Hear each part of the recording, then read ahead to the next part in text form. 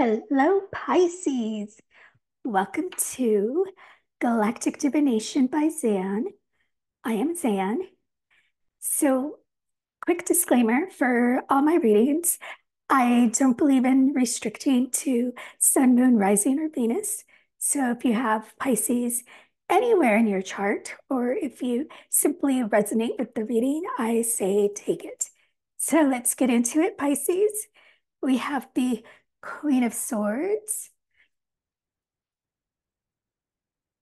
the Knight of Wands, and the Hierophant. So some of you Pisces have your, your barriers up, and that's a good thing. uh, we have to have our boundaries, but there may be a slight overdoing it where people are feeling like they just can't get through to you. You're too closed off.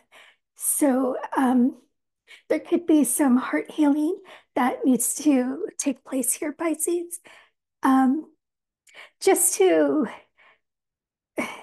not necessarily let down your barriers, but to loosen them up a little bit where people can get in through to you.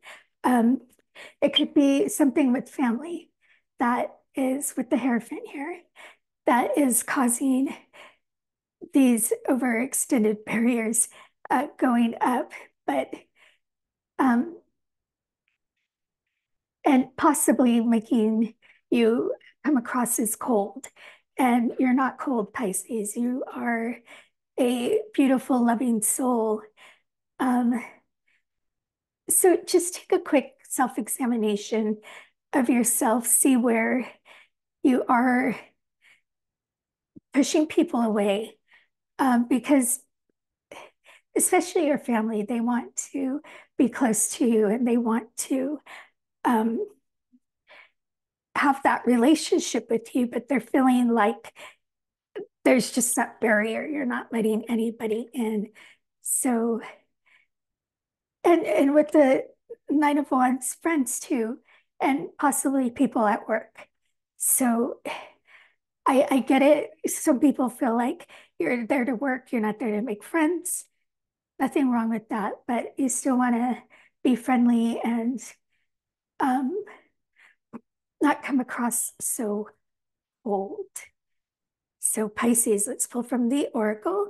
We have grounding, go deep, explore your roots. Yes. So again, grounding your heart chakra, knowing where these excessive barriers are coming from and really focus on that healing. Uh, you do want to stay rooted and grounded with all your chakras.